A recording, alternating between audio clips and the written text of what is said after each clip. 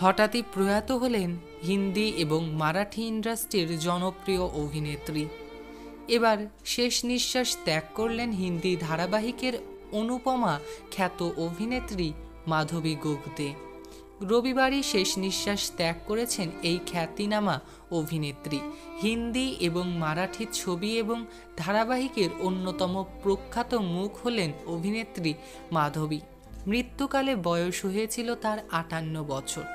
জনপ্রিয় টিভি অভিনেত্রী রূপালী গঙ্গোপাধ্যায়, অর্থাৎ অনুপমা ধারাবাহিকের অনুপমার অনস্ক্রিন মায়ের চরিত্রেই এবার কাজ করতে দেখা গিয়েছিল অভিনেত্রী মাধবী গোগতেকে।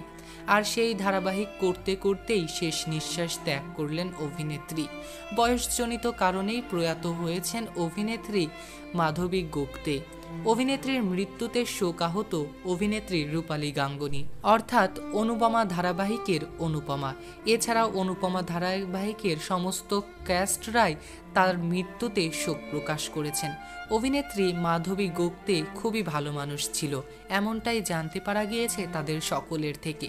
ইন্ডাস্ট্রি আবারও হারিয়ে ফেলল আরও এক বিখ্যাত অভিনেত্রীকে। অভিনেত্রী মাধবী গুপ্তের আত্মার শান্তি কামনা করে আমাদের ভিডিওটি শেষ করছি। ভিডিওটি ফ্রেন্ডস অ্যান্ড ফ্যামিলির সাথে শেয়ার করে চ্যানেলটিকে সাবস্ক্রাইব করে বেল আইকনটি প্রেস করবেন। এমনই লেটেস্ট আপডেট সবার আগে পাওয়ার জন্য। Saikat Ahmed Noor celebrity lifeline